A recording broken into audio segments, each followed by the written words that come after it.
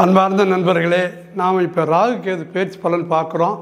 பார்க்குறதுல இப்போ ரிஷப ராசியை பார்க்கும் ரிஷப ராசியில் மூணு நட்சத்திரம் இருக்குது கார்த்திகை ரோகிணி மிருகசீரிடம். இந்த மூணு நட்சத்திரக்காரர்களுக்கு இந்த ராகு கேது பேச்சு எப்படி இருக்குன்னு பார்ப்போம். கே- ராகு வந்து மீனத்தில் இருக்கார் கேது வந்து கன்னியில் இருக்கார்.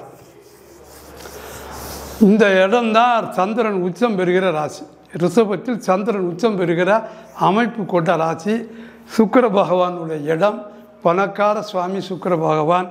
வீடு வாசல் மனைவி மக்கள் குழந்தை குட்டிகள் கார் பங்களா எல்லாத்துக்கும் அதிபதி சுக்கர பகவான்.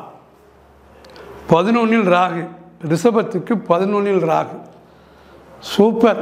லாபம்னாலே துட்டை அள்ளி கொடுக்கறது. நீங்கள் தொழில் பிஸ்னஸ் எது பண்ணாலும் சரி பணம் கொட்டும் லாபம் வரும். கூட்டி கழித்து பார்த்தீங்கன்னா லாபம் தான் ராகு கொடுக்கும்போது யாரும் தடுக்க முடியாது. அது எப்பேற்பட்ட ஆளாக இருந்தாலும் தடுக்க முடியாது. இந்த பயிற்சி உங்களுக்கு லாபத்தை கொடுக்கும். நீங்கள் தொழிலோ வேலையோ பிஸ்னஸோ எது பண்ணாலும் உங்களுக்கு லாபமே. மொத்தத்தில் சூப்பர் வெளிநாடு பயணம் போவதற்கு வாய்ப்புகள் உண்டு. ஆனால் ஏமாற்றுவோர்கள் வந்து வழியே வருவார்கள். உங்களை ஏமாற்றுவாங்க. கவர்மெண்ட்டு மூலமாக அப்ரூவ்டு சேனலில் போங்க. யாராவது மாற்று இதில் வந்தால் சிக்கிக்கொள்ளாதீர்கள் பழுது பார்த்து அப்பாவை ஒரு வீடு பார்த்து குடி வைக்கலாம். ரியல் எஸ்டேட் பார்ப்பவர்களுக்கு ரொம்ப நல்லாயிருக்கும் வீடு வாசல் நிலம் புலன் குடுக்கல் வாங்கல் இருக்கக்கூடிய ரியல் எஸ்டேட்டுக்கு ரொம்ப அருமையாக இருக்கும். இந்த நேரம் தான் கருப்பு பணம் இல்லீகல் ஆக்டிவிட்டீஸ் சட்டத்துக்கு புறமான வேலைகளை செய்தல் இதெல்லாம் வழியே வரும். கவனம் கவனம் கவனம். அதில் எந்த புத்தியும் போகக்கூடாது. எல்லாம் லீகலாக இருந்தீங்கன்னா நல்லா இருப்பீங்க. உங்களுக்கு சொந்த வீடு அமையும். சொந்த வீடு கட்டுவீர்கள்.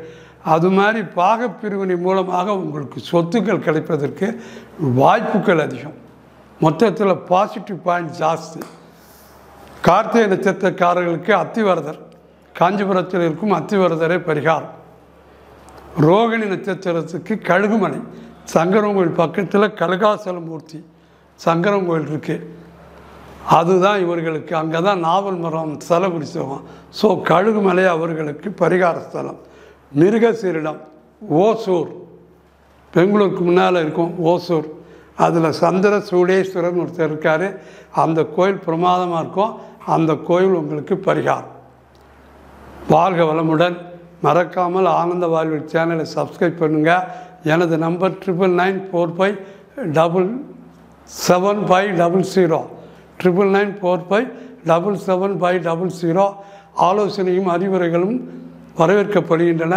சாதகம் பார்ப்பதற்கு அணுகலாம்.